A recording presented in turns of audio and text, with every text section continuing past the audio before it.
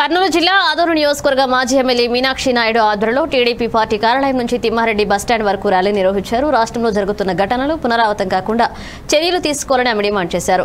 రాష్ట్రంలో మహిళలు రక్షణ కల్పించాలని దిశా చట్టాన్ని అమలు చేయాలని ఆమె డిమాండ్ చేశారు. ఈ కార్యక్రమం పార్టీ మహిళా కౌన్సిలర్లు పార్టీ నాయకులు పాల్గొన్నారు.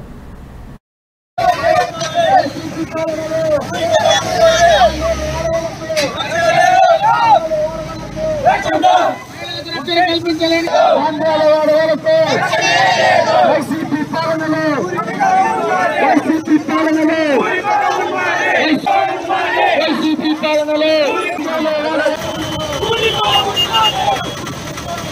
We Paranavav!